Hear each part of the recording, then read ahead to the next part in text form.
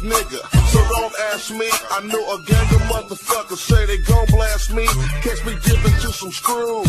Attitude rude, dripping sweat. About to finger fuck this check. I leave him stretch. Reaching for a rifle. Got him a pump before a nigga to dump to dump. I ain't no punk. It's just like TTC, what it do? Hey, yo, yo. Hey, you already know what time it is, man. I'm on here. Give them shout out first and foremost to the Green Bay Packers for last week's win over us without Aaron Rodgers, and y'all still walk away with the dub. Hey, man, I thought this was gonna be a different season this year. You know, where we turned things around and started getting more dubs and L's, but it seemed like we have reverted, have reverted back to the old Bucs and can't get out our own way. You know what I'm saying? But uh, regardless of that, man, big ups to all the Green Bay Packer fans out there. Uh, and congratulations on y'all's win. Now moving on to this week, where we caught another L to another quarterback that was not at 100%. He had shit. Basically, he was playing with one hand, and he walked away with the dub as well.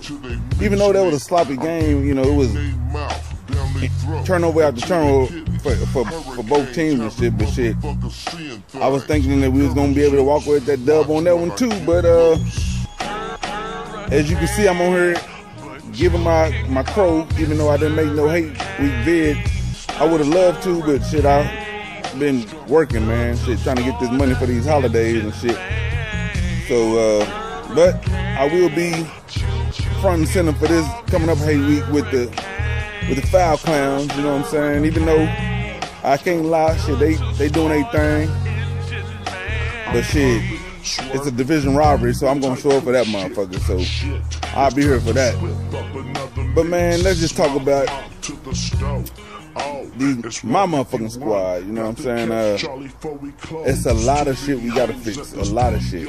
I mean, hey, I'ma still be ride or die with my boy Winston here. You know, a lot of people can say what they want to about him, but I'm gonna stick in this corner shit. You know, everybody go through their growing pains and shit. He ain't number 23. I'm a, I'm a, I'm gonna get a young man a shot. You know, I wish he would. You know, uh, fix a lot of these turnovers and shit. But hey, it is what it is. Hey, like like motherfucking T.O. said, that's my motherfucking quarterback. That's my quarterback.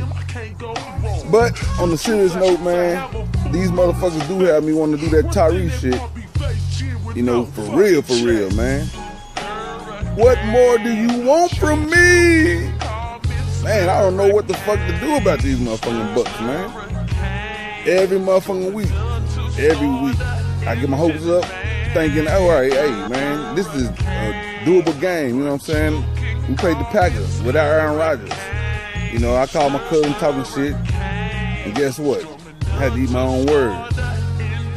Luckily this week, I don't know no Detroit fans other than uh 313 Hitman. You know, shout out to him and all the one prior riders out there. You know, big up to y'all. Y'all came and our motherfucking stadium and took care of y'all's business. Which, once again, like I just said, y'all was playing with a one-handed quarterback.